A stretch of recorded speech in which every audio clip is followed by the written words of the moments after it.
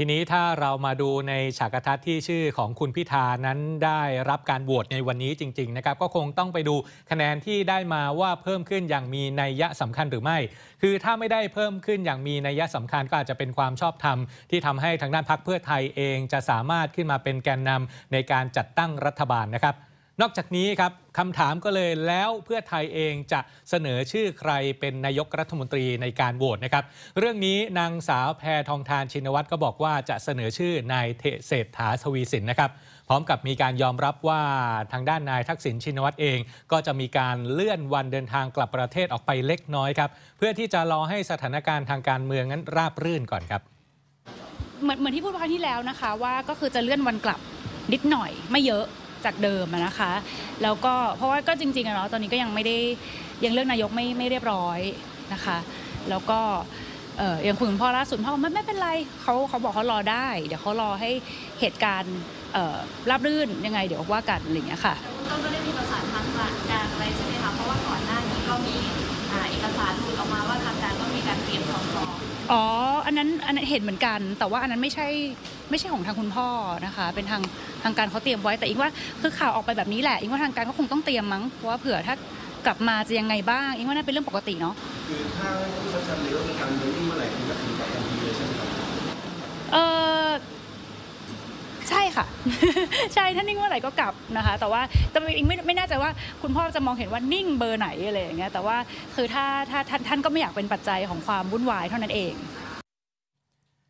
เนี่ยนะครับเป็นการออกมายอมรับของนางสาวแพทองทานชินวัตรหัวหน้าครอบครัวเพื่อไทยที่ยอมรับนะครับว่า แผนการเดินทางกลับประเทศของนายทักษิณอดีตนายกรัฐมนตรี จะเลื่อนจากเดือนกรกฎาคมออกไปไม่มากครับ เพราะว่าการเลือกนายกยังไม่เรียบร้อย โดยขอให้สถานการณ์ทางการเมืองราบรื่น เพราะไม่อยากให้เป็นปัจจัยทางการเมืองครับ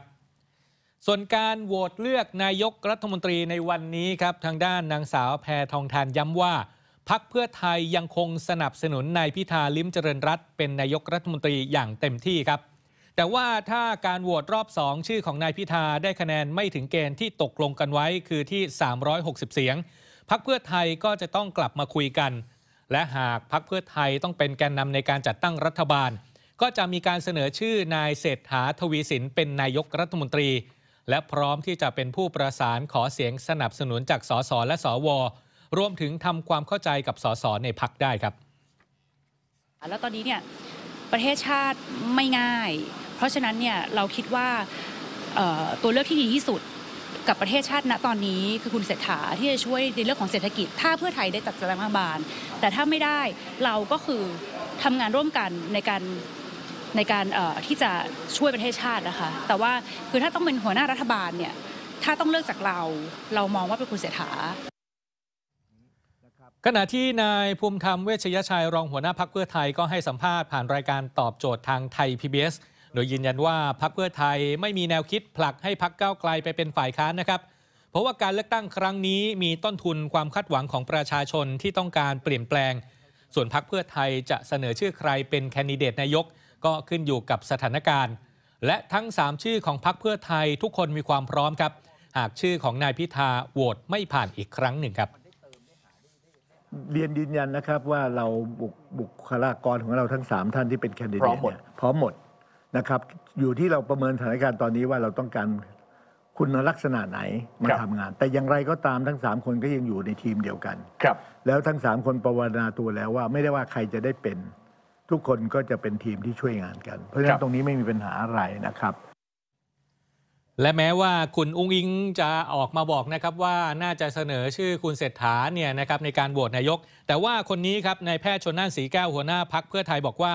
เรื่องแคนดิเดตนายกที่จะต้องเสนอในการโหวตเลือกครั้งที่ 3 ต้องรอข้อสรุปในวันนี้ก่อนนะครับ และต้องมีการแถลงอย่างเป็นทางการของ 8 พรรค รวมถึงต้องมีการปรับแก้ MOU ด้วย โดยยังไม่ขอคอนเฟิร์มครับว่าจะเป็นชื่อของนายเศรษฐาหรือไม่ เพราะเป็นเพียงความเห็นส่วนตัวของหัวหน้าครอบครัวเพื่อไทยครับ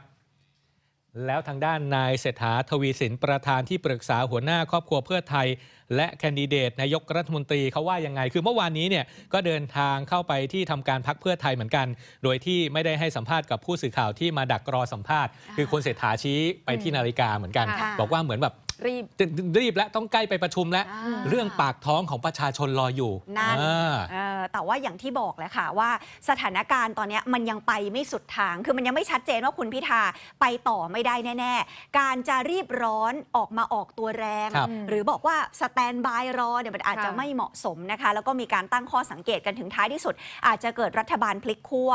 ทางนักวิชาการเนี่ยออกมาบอกเลยว่าการที่พลตำรวจเอกเสรีพิสุทธิ์หัวหน้าพักเสรีรวมไทย เที่ยวไปเดินสายขอคะแนนจากประชาธิปัตย์บ้างแหละ ชาติไทยพัฒนานั่นแหละ ถ้ามองแบบโลกสวยก็ดูเหมือนจะขอคะแนนให้ก้าวไกลอืมค่ะแต่ถ้ามองลึกไปกว่านั้น มันก็ตีความได้เหมือนกันว่า จริง ๆ แล้วคุยให้พักเพื่อไทยหรือเปล่าครับกลัวตกขบวนร่วมรัฐบาลเพื่อไทยหรือไม่อ๋อนะครับรวมถึงอาจจะต้องมาดูความเคลื่อนไหวของชาติไทยพัฒนาและประชาธิปัตย์ซึ่งตอนนี้จริง ๆ แล้วเนี่ยก็ยังไม่ได้ออกมายืนยันชัดเจนนะค่ะว่าวันนี้จะโหวตอย่างไร เพราะว่าเดี๋ยวคงต้องมีการประชุมก่อนที่จะมีการประชุมรัฐสภาในวันนี้นะครับ ซึ่งทางด้านคุณวราวุธก็ออกมาบอกเหมือนกันนะครับว่าเดี๋ยวดูก่อนว่าจะงดออกเสียงหรือว่าจะออกทิศทางไหนกันแน่นะครับค่ะ